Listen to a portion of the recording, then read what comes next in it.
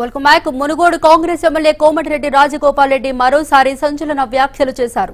టీఆర్ఎస్ను గద్దె దించాలంటే ఇప్పుడు బీజేపీకే సాధ్యమని చెప్పుకొచ్చారు. అలాగే తనను బీజేపీలోకి రమ్మని ఆ పార్టీ నాయకులు సంప్రదింపులు జరుపుతున్నారని నాగార్జున సాగర్ నుంచి పోటీ చేయమంటూ అడుగుతున్నారని రాజగోపాల్ రెడ్డి వెల్లడించారు. అయితే దీనిపై ఇంకా తాను ఎలాంటి నిర్ణయం తీసుకోలేదన్నారు.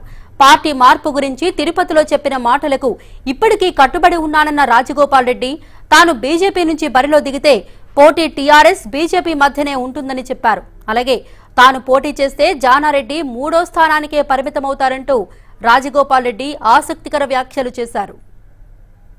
నాగాన్ సాగర్ నుంచి మీ భార్య కొమ్మటిరెడ్డి లక్ష్మి బీజేపీలో నిలబడుతున్నట్టు ఊహాగానాలు వస్తున్నాయని చెప్పిండ్రు. అది నిజమేనా అని అడిగిండ్రు.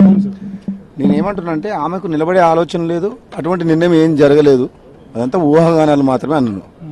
కానీ బీజేపీలో కొందరు మిత్రులు గతంలో నేను బీజేపీకి అనుకూలంగా స్టేట్మెంట్ ఇచ్చిన కాబట్టి ఇప్పుడు బీజేపీ గాలి తెలంగాణలో వీస్తుంది కాబట్టి దుబ్బాక జిహెచ్ఎంసీ ఎలక్షన్ తర్వాత తెలంగాణ ప్రజలు కూడా బీజేపీ చూస్తున్నారు కాబట్టి నాగాన్ సాగర్లో కూడా బీజేపీ గెలవాలన్న ఉద్దేశంతో బీజేపీ వే ఉంది కాబట్టి ఒకవేళ నువ్వు నల్గొ ఉమ్మడి నల్గొండ జిల్లా అభ్యర్థిగా నువ్వు నువ్వు నిలబడితే బాగుంటుందని ఆలోచన ఇద్దరు ముగ్గురు మిత్రులు నాతోటి డిస్కస్ చేసిండ్రు. కానీ ఆ విషయంలో నేను ఎటువంటి నిర్ణయం తీసుకోలేదు. ప్రస్తుతానికి ఇప్పుడు పోటీ జానారెడ్డి మధ్యన టీఆర్ఎస్ మధ్యనే ఉండొచ్చు. బహుశా ఎందుకంటే తన సీనియర్ కాంగ్రెస్ నాయకుడు. కానీ ఇప్పుడున్న పరిస్థితుల్లో బీజేపీ వైపు ప్రజలు చూస్తారు కాబట్టి తెలంగాణ ప్రజలు.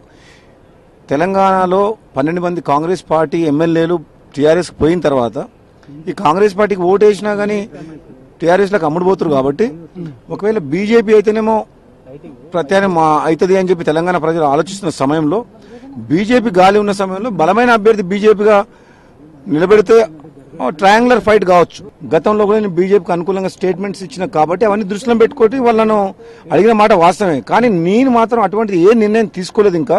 రాబోయే రోజుల్లో నిజంగా అటువంటి నిర్ణయం తీసుకుంటే నేను గట్టి నిర్ణయం తీసుకుంటా కానీ మనసు ఒక దగ్గర మా శరీరం ఒక అటువంటిది ఏమి ఉండదు. నిర్ణయం తీసుకున్నప్పుడు గట్టిగా ఎదురు మీ అందరికీ తెలుసు నేను ఏదున్నా మొహమాటం లేదు నిర్మోహమాటంగా మాట్లాడతా. భయం ఏముంది నాకు. ప్రస్తుతం కాంగ్రెస్ పార్టీ ఎమ్మెల్యేగా ఉన్నా కొనసాగుతున్నా. కాంగ్రెస్ పార్టీ తీసుకున్న కొన్ని నిర్ణయాల వల్ల కాంగ్రెస్ పార్టీ బలహీనపడిందని చెప్పేసి కాంగ్రెస్ పార్టీ కార్యకర్తలు కాదు నాలాంటి వాళ్ళందరూ ఎంతో మంది బాధపడుతున్నారు కాబట్టి తెలంగాణ ఇచ్చిన తర్వాత కూడా కాంగ్రెస్ పార్టీ ఈ రోజు ఈ పరిస్థితిలో ఉందంటే అధిష్టానం తీసుకున్న తప్పుడు నిర్ణయాల వల్ల ఈరోజు కాంగ్రెస్ పార్టీ కార్యకర్తలందరూ కూడా బాధపడుతున్నారు. కాబట్టి నేను ఆ బాధలు అన్న మాటలు వాస్తవమే.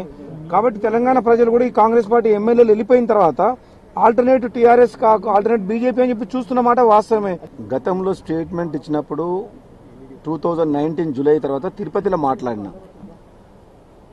గతంలో నిర్ణయాన్ని ఇచ్చిన స్టేట్మెంట్కు తగ్గట్టే జరుగుతుంది తెలంగాణలో ప్రజలు కూడా. నేను కూడా బహుశా ఆ నిర్ణయానికి కట్టుబడి ఉంటా. భవిష్యత్తులో బీజేపీలో చేరే అవకాశం ఉంది అని చెప్పి తిరుపతిలో స్టేట్మెంట్ ఇచ్చిన. ఆ తర్వాత నేను ఎప్పుడు మాట్లాడలేదు. మళ్ళీ మళ్ళీ కూడా నేను మాట్లాడదలుచుకోలేదు. సమయం వచ్చినప్పుడు నేను నిర్ణయం తీసుకుంటా అంతే.